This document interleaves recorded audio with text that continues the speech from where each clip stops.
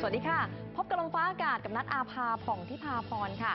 ช่วงนี้ชาวกรุงเทพขับรถไปไหนระมัดระวังการที่จะเจอน้ำท่วมขังสูงกันไว้ด้วยนะคะ เช่นตลอดวันนี้หลายพื้นที่เจอฝนแล้วนะคะ เป็นไปตามที่กรมอุตุนิยมวิทยาคาดการเลยค่ะ ว่าตั้งแต่วันนี้ไปจนถึงสัปดาห์หน้านะคะ ภาคอีสานตอนล่าง ภาคกลางนะคะภาคตะวันออกรวมทั้งกรุงเทพแล้วก็ปริมณฑลมีโอกาสเจอกับฝนได้ร้อยละ 20 ค่ะ เป็นเพราะอิทธิพลจากลมตะวันออกเฉียงใต้นะคะ ที่พัดมาปกคลุมประเทศไทยค่ะ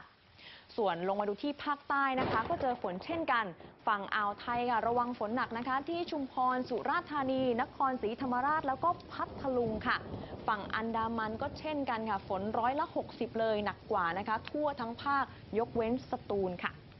ช่วงนี้หลายพื้นที่มีฝนค่ะ หลายคนอาจจะเข้าใจว่าจะทำให้ดินนั้นชุ่มน้ำแต่จริง ๆ แล้วเวลาที่น้ำในดินเจอกับแดดจัดนะคะ กลับทำให้ความชื้นเนี่ยระเหยออกจากดินค่ะ ช่วงนี้พี่น้องเกษตรกรอาจจะนำฟางข้าวหญ้าแห้ง หรือว่าใบไม้แห้งนะคะ มาปกคลุมที่แปลงเกษตรเอาไว้ ป้องกันความชื้นออกจากดินค่ะ มาดูสภาพอากาศรายภาคกันนะคะภาคเหนือค่ะเป็นภาคเดียวที่ไม่เจอกับฝนนะคะ ตอนบนสุดยังคงหนาว ตอนล่างเย็นสบายค่ะ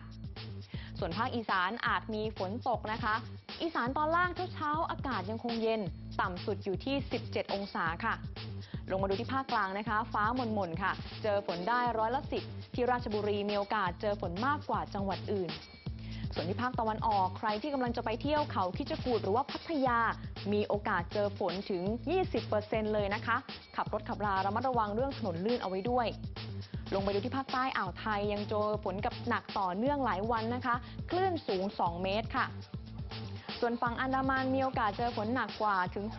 60%บริเวณที่มีฝนอาจจะเจอคลื่นสูง ชาวเรือควรเดินเรือด้วยความระมัดระวังนะคะส่วนกรุงเทพแล้วก็ปริมณฑลฟ้าหลัวหลายพื้นที่มีโอกาสเจอฝนร้อยละ 20 ค่ะ